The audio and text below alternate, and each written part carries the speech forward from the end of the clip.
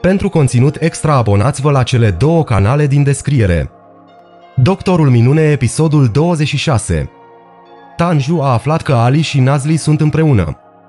Le spune lui Adil, Ferman și Beliz că pacienta lui Ali a dat în judecată spitalul și că el crede că motivul pentru care Ali a început să facă din nou greșeli este că nu se poate concentra din cauza vieții personale. Niciunul nu este de acord să îi impună lui Ali să aleagă între locul de muncă și Nazli. Tanju le spune că va fi cu ochii pe el întreaga zi și dacă face vreo greșeală, îl va concedia. După aceea, Tanju le spune situația lui Ali și lui Nazli. Amândoi se întristează. Ferman îi spune lui Ali să lucreze la fel ca întotdeauna și îl asigură că el îi va fi alături. El și-a dat seama că Damla i-a zis lui Tanju de ei și o avertizează că o va concedia, dacă continuă îi facă probleme lui Ali. Nazli o confruntă pe Damla, dar ea îi spune că nu regretă nimic și că face orice este necesar ca să fie cea mai bună rezidentă din spital. Adil o convinge pe pacienta care s-a plâns de Ali să renunțe la proces. Kivilcim o imploră pe Beliz să nu o concedieze. O minte că a făcut avort, iar Beliz are mustrări de conștiință și nu o mai concediază.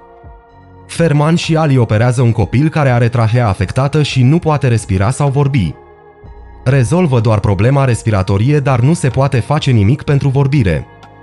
Damla încearcă să intre peste Ali la operație, însă Ferman nu îi permite.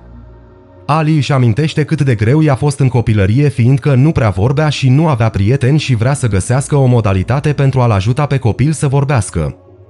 Adil, Ferman și Nazli insistă să nu facă nimic cât timp Tanju este cu ochii pe el, dar Ali nu îi ascultă și e dispus să-și riște slujba și relația cu Nazli, care îi spune că nu îl va ierta dacă va fi concediat. Studiază toate opțiunile până când găsește soluția.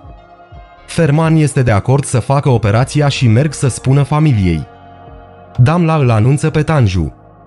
Părinții copilului nu vor să facă operația pentru că este riscantă. Ali insistă mult și face o criză în fața lor. Este nevoie ca Ferman să intervină și să strige la el să plece. Mai târziu însă, copilul îi convinge pe părinți să accepte. Ferman, Ali și Damla fac operația fără să știe Tanju. Operația este un succes și copilul poate să vorbească. Ali se bucură mult și îi spune lui Nazli că acum poate să fie concediat. La sfârșitul zilei, Tanju îi cheamă să le spună decizia lui. Lui Ali îi zice că chiar dacă a greșit că a făcut o scenă atunci când încerca să convingă familia, știe că ar fi făcut la fel și dacă nu era într-o relație cu Nazli. Este sigur că relația lor nu îi afectează deciziile la locul de muncă, de aceea nu îl concediază. În schimb, Nazli a încălcat niște reguli pentru a-l ajuta pe pacientul ei, un hoț, și a cauzat probleme spitalului. Tanju pune greșeala pe seama relației lor și ca să nu mai lucreze împreună, o mută pe Nazli la noua clinică. Vă mulțumim pentru vizionare! Abonați-vă la cele două canale din descriere pentru a afla ultimele noutăți despre serialele tale preferate.